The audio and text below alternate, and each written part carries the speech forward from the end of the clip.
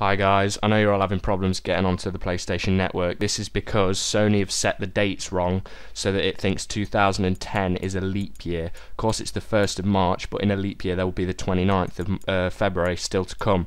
Um, so PlayStation just just couldn't compute it, couldn't couldn't get it right, and it just malfunctioned. Uh, as you can see there, my God of War demo is still downloading, so it's not completely cut off from the internet. My date and time have been reset to like the 1st of January 2000, and my time's like some some well, it's just completely random time. So uh, I've tried to set it by the internet and it's not working. But that is the reason, and I can promise you they are working on an update for it right now. They're working on a fix, and uh, they've been working on it since about half past twelve when um, when it broke out and everyone was uh, complaining about it. So they're trying to get it fixed as soon as possible. I'm not sure how long it'll take, but I can promise you they're working very hard to get it fixed.